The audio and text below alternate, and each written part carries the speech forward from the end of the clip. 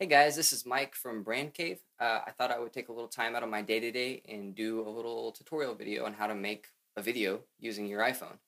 Uh, this video you're watching right now is being shot and edited and recorded all on an iPhone, and uh, I'm going to teach you to do the same thing. Uh, first thing you might need is a tripod uh, that can hold a cell phone, and uh, you can get one at Walmart. They're on Amazon really cheap, like eight to ten dollars. I wouldn't spend any more than that. And um, for sound, I'm actually using a uh, the headphone that comes with the iPhone, and I'm running it from the phone to me, and picking up sound using the microphone built into the, the side of it. Um, seems to be working pretty well. Uh, you can also go crazy with it and get a microphone that can plug into your headphone slot. They make all kinds of stuff. So sky's the limit with that kind of thing. But anyway, um, let me talk a little bit about the camera function on the iPhone really cool about the I think it's 4S and above. You have a lock function that you can bring up on your camera.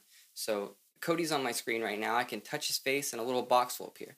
Now if I hold that box, then it'll lock the exposure and it'll lock the focus in. Uh, you, you, can see it says auto focus lock and uh, auto exposure lock.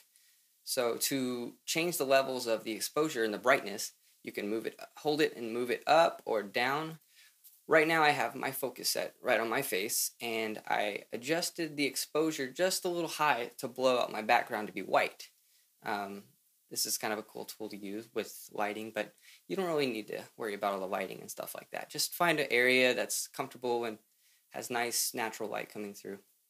After I'm done shooting this footage, I'm going to bring all of the video over to iMovie, which you can just download for free, and it does everything you need it to. You can drag the footage around, cut it, trim it. Um, you can even add music and titles and stuff like that. Uh, I'm going to keep it pretty simple on this one. So when you're done editing your footage, you can export it directly to YouTube or you can email it to yourself.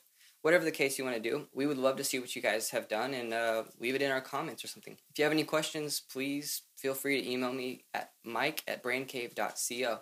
Thanks, guys.